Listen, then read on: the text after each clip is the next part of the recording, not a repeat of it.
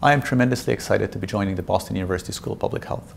This is one of the great schools of public health with a distinguished tradition of excellence in scholarship, in education, in service. Under Dean Meenan's leadership, this has become one of the schools of public health that is centrally involved in the public health conversation. It is a tremendous privilege to be part of an academic public health community. These are exciting times in public health. There are challenges, but also great opportunities. The Boston University School of Public Health is poised to go to the next level. I am looking forward to being part of the community of faculty, staff, students, and alumni that together we can tackle some of these challenges, capitalize on these opportunities towards improving population health.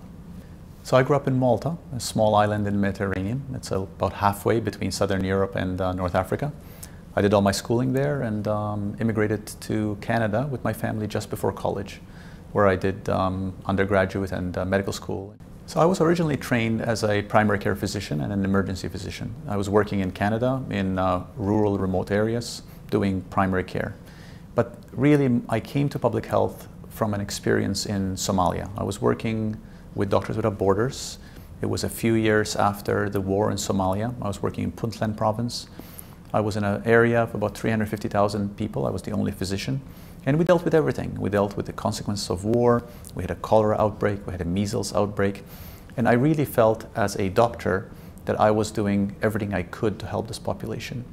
But I couldn't help but feeling that something was missing and that something was understanding really what got the health of that population to where it was. And that is where public health is. That's what public health is about.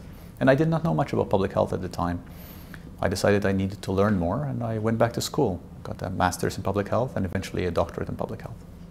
One of the tremendous features of the Boston University School of Public Health is the alumni community.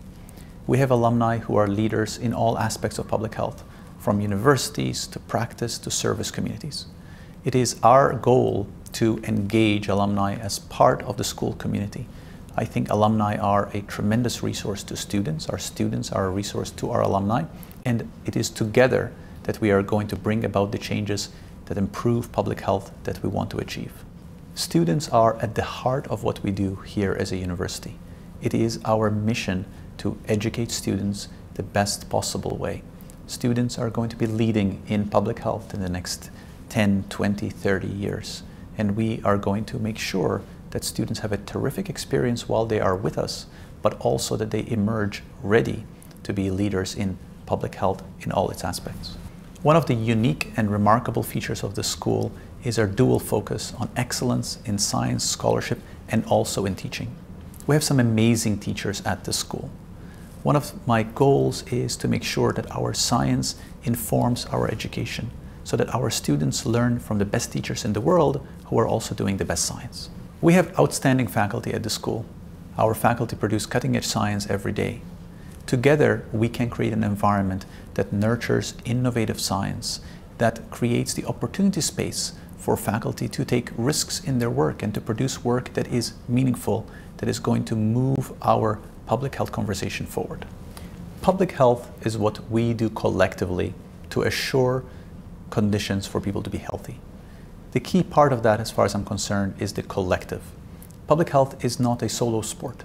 I cannot improve public health by myself. You cannot improve public health by yourself. That is why a School of Public Health has a clear role to play and where the entire school community fits into that role. Our alumni, our students, our staff, and our faculty, we are all part of something bigger than ourselves, and that is exciting and important.